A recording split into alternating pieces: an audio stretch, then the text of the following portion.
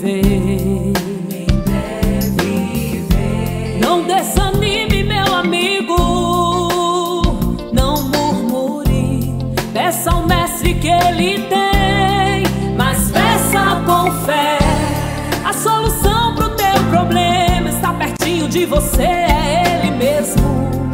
Jesus de Nazaré.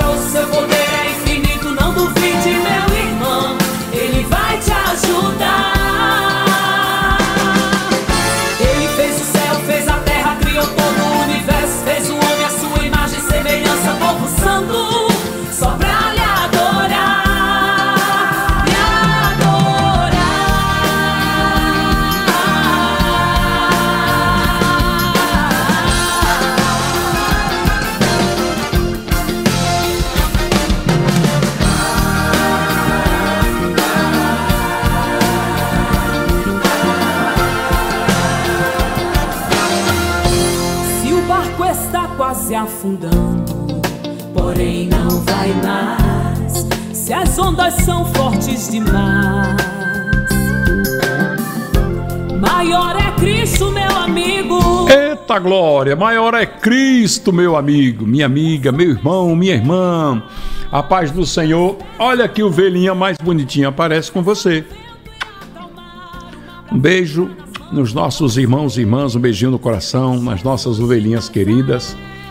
Deus abençoe vocês poderosamente no nome de Jesus. Quero pedir a você para se inscrever aqui, olha, vermelhinho aqui, ó, inscreva-se. Inscreva-se, marque o sininho, recomende este canal para outras pessoas, compartilhe essa mensagem, essa oração da manhã, pelo menos com mais 10 pessoas. Coloque aí nos seus grupos de WhatsApp, no Facebook, no Twitter, nas suas redes sociais, tá bom? Nós vamos trazer uma mensagem agora para o seu coração. E essa mensagem vai falar exatamente da fidelidade de Deus, do grande, imensurável amor do nosso Deus. Essa mensagem vai falar sobre caminhar no deserto. Ah, Jesus. Quando fala em deserto, o crente chega a treme. Mas não era para ser assim, não. Porque quando Deus tirou o povo do Egito e levou para o deserto, era um projeto dele na vida daquele povo, do seu povo, do povo escolhido. O deserto ele pode nos trazer grandes lições. Nós crentes, nós costumamos dizer que deserto é faculdade de crente. Deserto é lugar de viver as maravilhas de Deus. É o lugar em que você vai fazer contato direto com ele. Foi no deserto que o profeta Ezequiel conheceu verdadeiramente o poder de Deus. Foi ou não foi? Quando Deus disse para ele: Ei, poderão reviver esses ossos? Ele disse: Senhor, tu sabes. Aleluia. Tu sabes, Senhor. O profeta estava dizendo: Tu sabes que o Senhor tem poder. Se o Senhor quiser fazer, faz e acabou. Se não tem que desmanche. Aleluia. Sui labá, sabá de.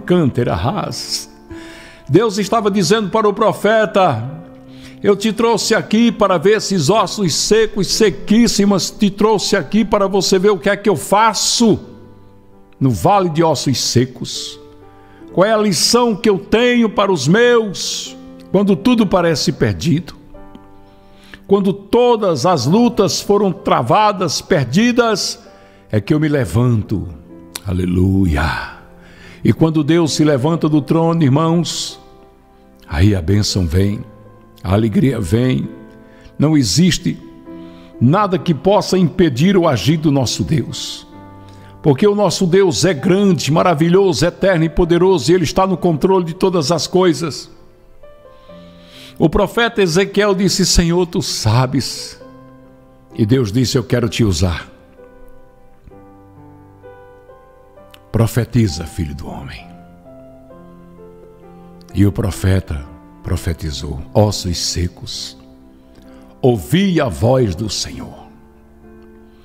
No deserto, os ossos secos, sequíssimos, foram obrigados a ouvir a voz de Deus. E a palavra vai dizer que se juntou osso com osso, estava tudo espalhado. É como uma família que está um filho para um lado, outro para o outro, na droga, outro na bebida, outro na prostituição, outro. Só Jesus sabe. Quantas mães de família estão sofrendo, meu Deus, chorando, mas sabe que tu és o Deus que transforma num grande exército os ossos secos. Muitos estão caminhando quase caindo, queimando seus pés na areia quente do deserto. Muitos estão, Senhor, vivendo uma vida sofrida, sentindo-se sozinho, abandonado, mas tu és o Deus do deserto. Tu és o Deus dos montes, dos vales, tu és o Deus de toda a terra. Deus, Deus, fala ao coração dos teus filhos e filhas através desta oração, desta mensagem, falando da alegria do teu coração, Senhor. Tira, Deus, teus filhos do deserto, chama para um particular, fala-se no ouvido: Eu te amo. Foi por você que fui para a cruz. É, Pai querido, Deus amado, Tu és Deus grande, Deus poderoso. Tu és Deus que transforma tudo. Tu és o Deus que transforma tudo transforma ossos secos, sequíssimos, num grande e poderoso exército. Deserto é lugar de oração, deserto é lugar de falar com Deus, deserto é lugar de ouvir a voz de Deus. Transforme o seu deserto num milagre anunciado. Eita glória! O teu milagre vai virar notícia no deserto. Tá todo mundo pensando que você vai morrer.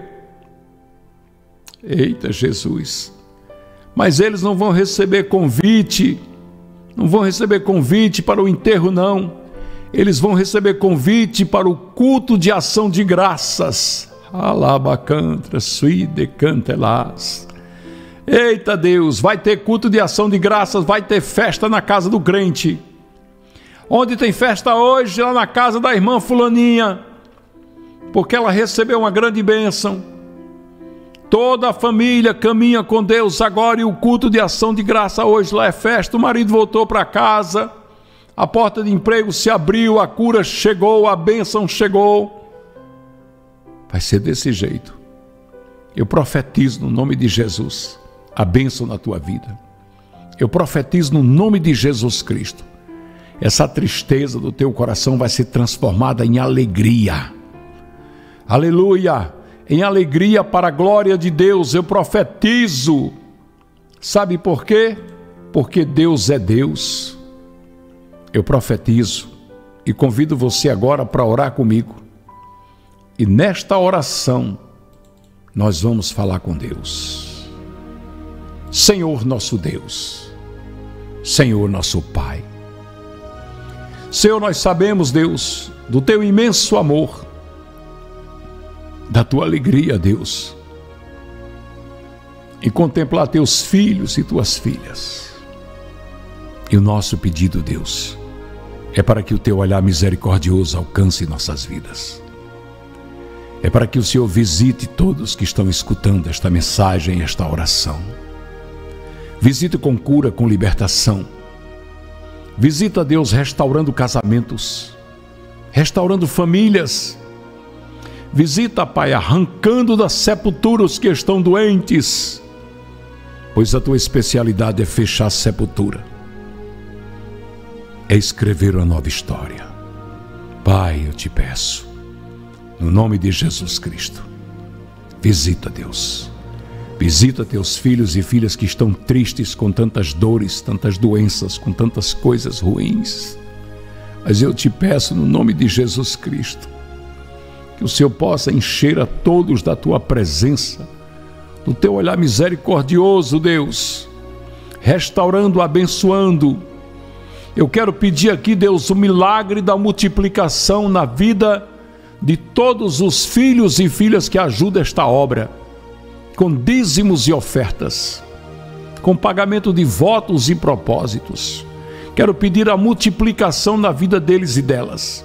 Quero pedir, Deus, que o Senhor os abençoe, derramando das janelas dos céus bênçãos sem medidas sobre suas vidas. Porque tudo, Paizinho, é para a glória do teu santo nome, louvor do teu santo nome. Pedimos que a família continue em oração e unida, buscando a tua face, o teu olhar misericordioso. Abençoa, Paizinho, todos os teus filhos e filhas. Abençoa os que têm votos e propósitos, abençoa os que querem abençoar esta obra. Abre as portas para todos que oram por esta obra e abençoa todos, no nome de Jesus Cristo, para a glória de Deus, nosso Pai. Amém. Amém, queridos amados. Deus abençoe a todos. Daqui a pouquinho tem o pastor Gabriel Batley, a, a pastora Ângela Berti no culto do lar.